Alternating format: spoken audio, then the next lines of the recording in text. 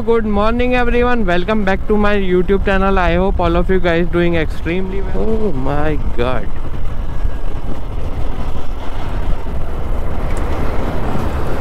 सो so, आज सो so, आज अपनी नई राइड चालू हो गई है सो so, अभी जस्ट घर से निकला हूँ और एग्जैक्टली टाइम हो रहा है सात बज के पंद्रह मिनट सुबह के सो so, अभी निकला हूँ घर से घर से सीधा अब हाईवे पकड़ूँगा जो अजमेर दिल्ली एक्सप्रेस वे है वो लूँगा और वो लेकर के फिर नई लोकेशन नई डेस्टिनेशन से पहुँचेंगे आज अपन पंजाब। सो अपनी एक्सपल्स पे अपनी पहली लॉन्ग राइड आज फाइनली हो ही गई है। सो अभी हाल फ़िलहाल ड्रीम कंप्लीट हो गया कि आज मैं अपनी एक्सपल्स को हाईवे पे लेकर के जा रहा हूँ और वो भी lump sum lump sum 500-700 kilometre के ट्रिप पे निकला हूँ और मेरे को एक काम भी है वहाँ पे सो वो काम भी हो जाएगा और एक राइड की राइड भी हो जाएगी।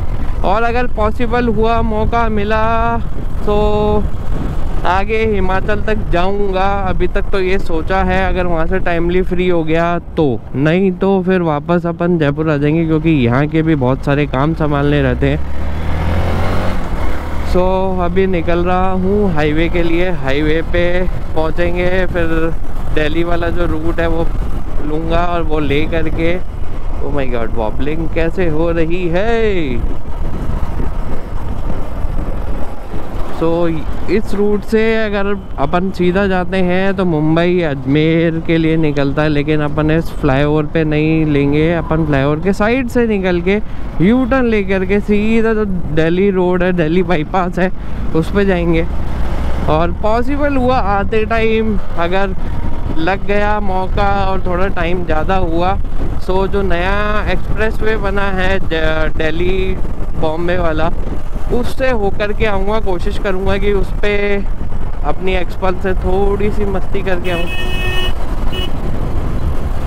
तो देखते हैं कैसा क्या रहता है। अगर टाइम हुआ टाइमली फ्री हुआ, सब कुछ सही हुआ तो उस हाईवे पे होता हुआ आऊँगा।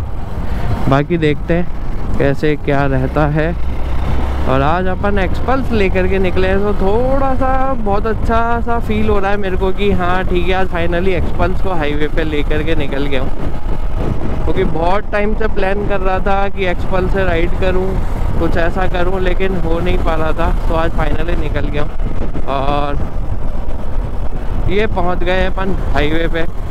सो अभी धूप है, आगे जा कर के देखते हैं वेदर कैसा रहता है। धूप कितनी रहती है, गर्मी कितनी रहती है और कितना बुरा हाल होता है अपना गर्मी में। तो सब कुछ आगे जा कर के, आगे देख करके ही पता चलेगा। और वैसे स्मूथ है। बाइक बाइक में कोई दिक्कत नहीं है, बहुत स्मूथ है। अगर वैसे बताऊँ मैं आप लोगों को तो थोड़ा सा वॉबलिंग का इशू आई डोंट नो क्या है प्रॉब्लम इसमें। तो चेक करवाएँगे आकर के इसमें प्रॉब्लम क्या है वॉबलिंग क्यों कर रही है ये फ्रंट टायर और वैसे स्मूथ है। रिफाइंड सी है, ऐसी कोई प्रॉब्लम नहीं आ रही कि हाँ 80 90 पे अगर मैं इससे चला रहा हूँ तो मेरे को ऐसा कुछ फील नहीं हो रहा कि ये ज़्यादा लोड ले रही है या स्मूथली चल रही है 80 90 80 90 अभी हाल फ़िलहाल 76 है स्पीड तो स्मूथ लग रही है, ऐसा कोई वो नहीं लग रहा कि नहीं यार, बहुत हल्की मोटरसाइकिल है, ऐसा कुछ है। तो मैंने सैडल बैग्स यूज़ करे यार। तो अभी आगे हाईवे पे रुकूँगा, कहीं भी कुछ भी करूँगा तो आप लोगों को बता दूँगा कि सैडल बैग्स कैसे लग रहे हैं अपनी मोटरसाइकिल में। और अच्छे से मतलब बहुत अच्छी वाइब आ रखी है, मज़ा आ रखा है। तो चलते हैं आप लोगों को अब आगे, जहाँ भी ब्रेकफास्ट करूँगा या कुछ भी करूँगा तो आप लोगों को अपडेट देता रहूँगा। और अभी हाल फ़िलहाल मेरे हिसाब से मेरे को लगता है मैं लम सम लम सम पचास साठ किलोमीटर के बाद आगे रुकूँगा, चाय और बिस्किट लूँगा, फिर आगे निकलूँगा, फिर या तो बहरोड या फिर बहरोड के आगे, रेवाड़ी के आसपास। उधर कुछ खाएँगे और फिर सीधा रोहतक जज्जर वाला या फिर मानेसर वाला रूट पकड़ के और सीधा वहाँ निकलेंगे। सो आगे जैसे भी जो भी होगा, आप लोगों को पता चलता रहेगा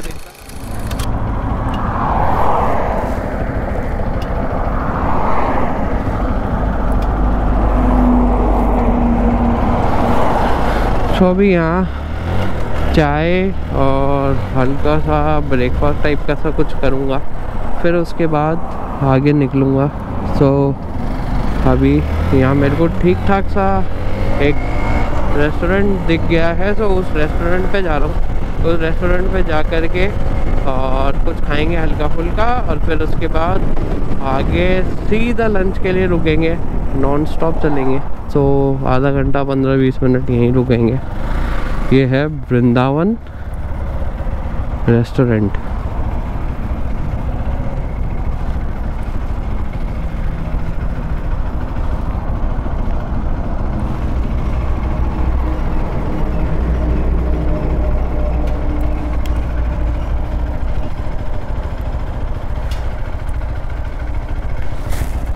ओह माय गॉड ये लग गया इसका साइड स्टैंड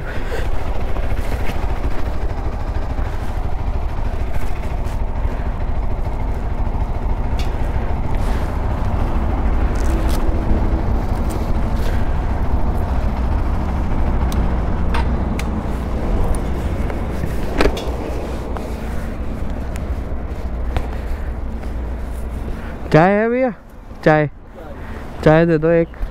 और एक पानी की बोतल दे दो। एक पानी की बोतल और एक चाय दे दो। पानी की बोतल? हाँ और चाय दे दो। सो so, ये अपने लग गए हैं सैडल बैग और ये टॉप बॉक्स और हाल फ़िलहाल अभी अपनी एक्सपल्स का लुक ऐसा ही है। सो so, अभी चाय पीते हैं पानी पीते हैं और कुछ खाते हैं फिर उसके बाद निकलेंगे। आ गई अपनी चाय और यहाँ रहा अपना हेलमेट और पानी की बोतल तो अभी चाय पियेंगे और चाय पी करके और निकलूँगा अभी यहाँ से। हल्का फुल्का कुछ खाऊँगा देखता हूँ कुछ मिलता है खाने को तो खा के और फिर सीधा निकलूँगा और आगे जो नेक्स्ट स्टेप होगा वो लंच के लिए होगा। सो अभी आधा घंटा यहीं रुकूँगा और यहाँ रुक करके कुछ खा करके फिर आगे सो अभी चाय बिस्किट खाएँगे और फिर यहाँ से आगे निकलेंगे तो फिर सीधा लंच करूँगा।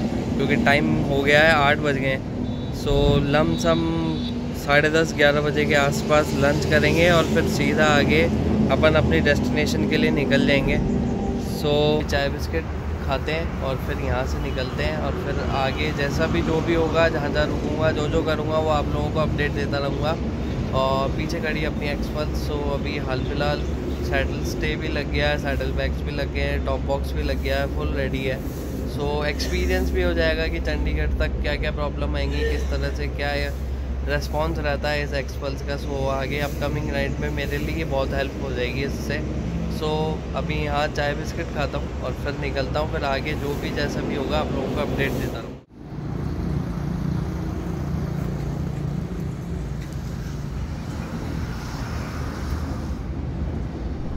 तो नेविगेशन अपन ने ऑन कर लिया है और चाय भी, बिस्किट भी हो गए हैं अपने। तो अब निकलते हैं आगे अपनी पूरी जर्नी कंप्लीट करते हैं Oops.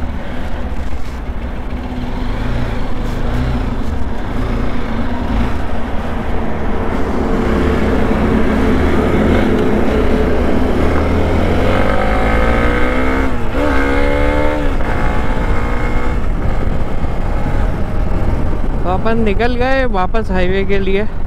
और हाईवे से नियर बाय है। और सुबह सुबह एक टी राइड के हिसाब से अच्छी लोकेशन लगी मेरे को तो। तो हाँ कभी कभी मॉर्निंग टी राइड करनी होगी तो इस लोकेशन पे आ जाया करेंगे। तो अच्छा रहेगा। और अच्छा लगा मेरे को क्योंकि मैं एक डेढ़ साल पहले इस पे आया था। सुबह सुबह मॉर्निंग टी राइड पे ही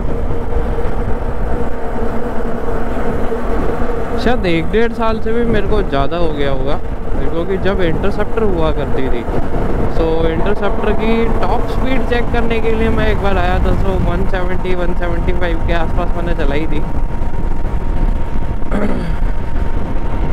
ऐसे यूजुअली मैं भगाता नहीं हूँ लेकिन हाँ कभी कभार कभी कभार वैसे मैं सेफ़ ही राइड करता हूँ 80 90 बिकॉज़ आज भी मैं घर से निकला था सात पंद्रह पे तो सात पंद्रह पे यहाँ तक पहुँचते हुए मेरे को अप्रोक्स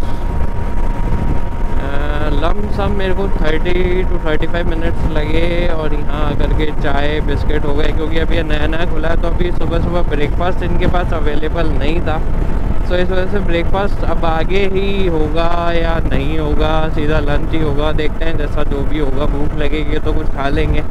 नहीं तो सीधा लंच करेंगे और फिर आगे निकल जाएँगे क्योंकि डिस्टेंस बहुत ज़्यादा कवर करना है। और लेट हो गया था सुबह निकलने में। तो हो जाता है कभी कभार थोड़ा बहुत लेट जल्दी, सब चलता है। तो ये सामने आप लोगों को जो व्यू दिख रहा है पूरा चारों तरफ़ पहाड़ी, पहाड़ पहाड़ी पहाड़ पहाड़ी, पहाड़। सो ये व्यू इस हाईवे पे अपने को देखने को मिल जाता है, जो चंदवा जी के पास में जैसे ही आप लोग पहुँचने लगोगे, जो अजमेर दिल्ली एक्सप्रेस वे है उससे। सो जो टोल क्रॉस करने के थोड़ा सा आगे चलोगे दिल्ली की साइड तो चंदवा जी की साइड भी। तो सो टोल क्रॉस करके चंदवाजी की तरफ़ अपन चलेंगे शाहपुरा की तरफ़ अपन चलेंगे। सो so, इस तरह का जो सीनिक व्यू है सुबह सुबह मॉर्निंग में बहुत अच्छा लगता है। सो so, इस तरह का व्यू आप लोगों को देखने को मिल सकता है इस रोड पे। सो so, और थोड़ा सा सिटी के ट्रैफ़िक से भी अपन बच जाते हैं। सो so, इस हाईवे को ही लोग बाग अब यूज़ करते हैं। पहले तो बहुत कम ट्रैफ़िक हुआ करता था जब ये हाईवे बना था जब। और इस तरह का सैंड्यून टाइप का सा व्यू देखने को मिल जाएगा। तो मैं बता रहा था आप लोगों को जब ये हाईवे बना था जब बहुत कम व्हीकल्स चला करते थे। एग्जैक्टली exactly, मैं जब फ़र्स्ट टाइम वहाँ गया था ले गया था। फ़र्स्ट टाइम ले गया था जब इस हाईवे ये हाईवे जब बन के तैयार हो गया था सो तब बहुत कम व्हीकल्स देखने को मिला करते थे सुबह सुबह और सुबह सुबह उस टाइम बहुत जल्दी निकला निकलना पड़ता था।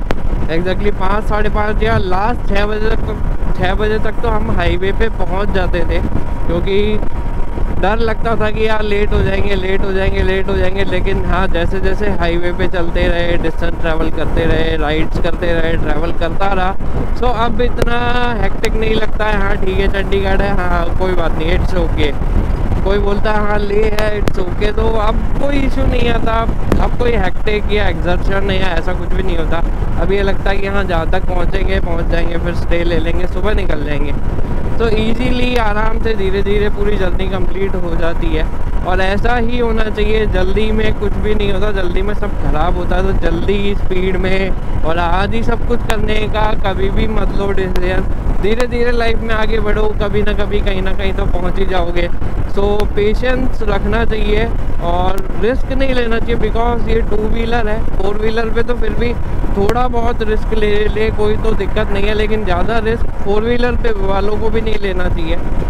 सो धीरे धीरे आराम से अपनी राइड कंप्लीट करो यार अपना जो जिस चीज़ के लिए आप निकले हो वो एक्सप्लोर करो वहाँ एक्सप्लोर करो जल्दी कुछ भी मत करो एक दिन लेट सही।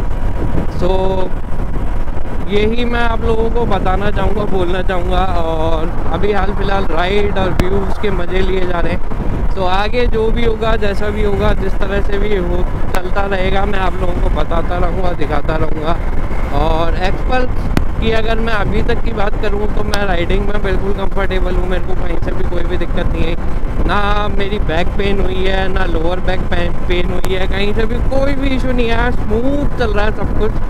तो अभी तक तो सब कुछ स्मूथ है। आगे फिर भी अगर मेरे को कुछ लगेगा कि नहीं यार एक्सपल्स में ये प्रॉब्लम है तो मैं आप लोगों को शेयर करता रहूँगा। बाकी मेरे को अभी हाल फ़िलहाल कोई भी प्रॉब्लम फील नहीं हो रही है, कुछ भी महसूस नहीं हो रहा है। अगर कोई भी भाई 200 सीसी के उस रेंज में और अच्छी हाई टैग लेगी सो एक्सपल चूज़ कर सकता है लंबी ट्रैवलिंग के लिए स्मूथ ट्रैवलिंग के लिए और थोड़ा सा एक फ़ायदा है व्हीकल का कि आप थोड़ी सी ऑफ़ कर सकते हो। और अभी शाहपुरा रह गया तेईस किलोमीटर और दिल्ली रह गया two forty nine so smooth bike है स्मूथ है, ऐसा कुछ भी नहीं है कि नहीं है। व्हीकल प्रेशर ले रहा हो या आप एक्सीटर रेव कर रहे हो तो आपको दिक्कत आ रही हो। बाइक लोड नहीं ले पा रही हो। सो हाँ अगर आप फुल्ली लोडेड हो करके जा रहे हो जिस तरह से अभी हाल फ़िलहाल मैंने एक्सपल्स कर रखी है इसमें अगर जो वेट है इसका उसमें इसका जस्ट डबल वेट भी कर दूँगा तो मेरे को अप्रोक्स 80 टू 90 पे ये मोटरसाइकिल चलाने में कोई प्रॉब्लम नहीं होगी। सो so, अच्छा व्हीकल लगा मेरे को मेरे को नहीं पता था कि मेरे को लगा था कि जब मैं हाईवे पे लेके निकलूँगा तो मेरे को थोड़ी बहुत इसमें इश्यूज़ आएँगे। थोड़ा बहुत बीच बीच में रुकना पड़ेगा। सिटिंग कंफर्टेबल नहीं होगी। थोड़ा सा उठना पड़ेगा बार बार रुकना पड़ेगा। लेकिन नहीं, मैंने non stop thirty two forty kilometre सभी करे हैं घर से निकलने के बाद। सो कहीं भी ये नहीं हुआ कि यार थोड़ा सा सीधा खड़ा हो जाता हूँ, या ऐसे कर लेता हूँ, या वैसे कर लेता हूँ। तो मेरे को कंफर्टेबल लगी और लॉन्ग ट्रैवल के हिसाब से, लंबी ट्रैवलिंग के हिसाब से मैं आप लोगों को बोल सकता हूँ कि ये व्हीकल बेस्ट है 200 सीसी के अंदर। पावर और भगाने के हिसाब से इस व्हीकल को मैं नहीं बोलूँगा कि आप ये व्हीकल आपको मतलब फुल 120, 140, 150 चलानी है। इस हिसाब से लोग पहुँचती है ये भी 150 के आसपास आराम से हाईवे पे पहुँच जाती है।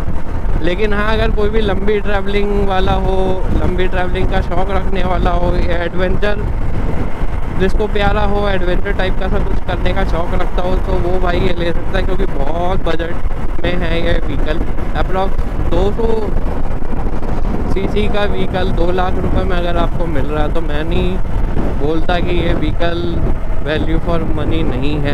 ये व्हीकल वैल्यू फॉर मनी है स्मूथ है अच्छा है, बढ़िया व्हीकल है, कहीं भी कोई इशू नहीं है। और ये मान लेते हैं कि अपन ले, लद्दाख और ऐसा कुछ करते हैं तो उसका एग्जॉस्ट इतनी हाइट पे है कि सवाल ही नहीं कि इसमें पानी या ऐसा कोई प्रॉब्लम आए।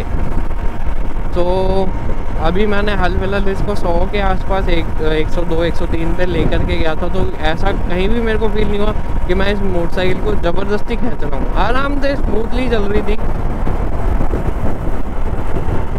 सो so, अच्छा व्हीकल है मैं रिकमेंड करूँगा अगर लोग अगर लेना चाहें। बजट में sort of A D B off roading vehicle for touring for off roading so ये व्हीकल मैं रिकमेंड कर सकता हूँ कि हाँ ये व्हीकल अच्छा है और आप ले सकते हो और आप ले करके पछताओगे नहीं। और मैं अगर मेरी बात करूँ तो मैं तो बिल्कुल ही नहीं पछताऊँगा क्योंकि मेरे को इसका एवरेज प्लस जो खर्चे होते हैं अपनी टी आर के पे, उसके हिसाब से बहुत चीप पड़ती है। टी आर के की फ़र्स्ट सर्विस नॉर्मल सर्विस भी पेड ही होती है। पेड होने के बाद भी उसका जो नॉर्मल फ़र्स्ट सर्विस का जो खर्चा होता है, वो अप्रोक्स पाँच से सात हज़ार रुपये का है। ये सात बार सर्विस करवा सकता हूँ मैं उस बजट में।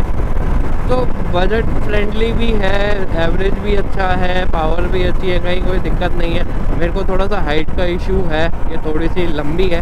बाकी हाँ जिनकी हाइट छः के आसपास है, वो लोग अगर इस मोटरसाइकिल को लेना चाहें ट्रैवलिंग के लिए सो बहुत बढ़िया है।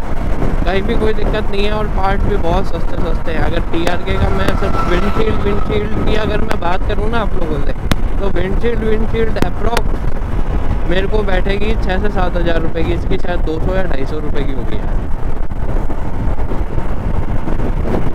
सो बजट के लिए सबसे बढ़िया मोटरसाइकिल लगी मेरे को, और फ़र्स्ट सर्विस इसकी करवा दी थी। तो फ़र्स्ट सर्विस मेरे को तेरह सौ रुपये कॉस्ट बैठी। और मैं सारी चीज़ें एयर फ़िल्टर और छोटा मोटा इसमें सामान और डलवा लेता। तो मेरे हिसाब से दो हज़ार रुपये मैक्स टू मैक्स पहुँचता वैसे पूछा था मैंने वहाँ पे तो सो उन लोगों ने बताया था कि अट्ठारह सौ, सत्रह सौ रुपये के बीच में सर्विस हो जाती है, जिसमें एयर फ़िल्टर और कई चीज़ें चेंज हो जाती हैं। तो ठीक है स्मूथ व्हीकल है एटी नाइन्टी हंड्रेड तक कोई इशू नहीं आ रहा है। तो अच्छा व्हीकल है, मज़ा आता है। इस तरह के व्हीकल अगर अपने पास हों और अपन लंबा ट्रैवल करना चाहें तो अपन ये नहीं रहेगा कि अरे यार, ये हो जाएगा, वो हो जाएगा। अगर इसको मैं ले लद्दाख या स्पीति में लेके जाऊँ ना तो approx four two five inch gap रह जाएगा रोड और इसमें। इतनी ऊँची है ये।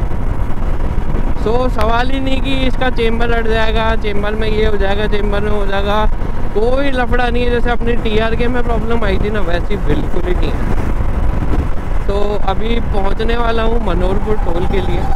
तो मनोहरपुर टोल पहुँच करके क्रॉस करके फिर आगे बहरोड पहुंचूँगा। तो बहरोड तो नहीं बहरोड के आगे रेवाड़ी के पास में कुछ खा लेंगे।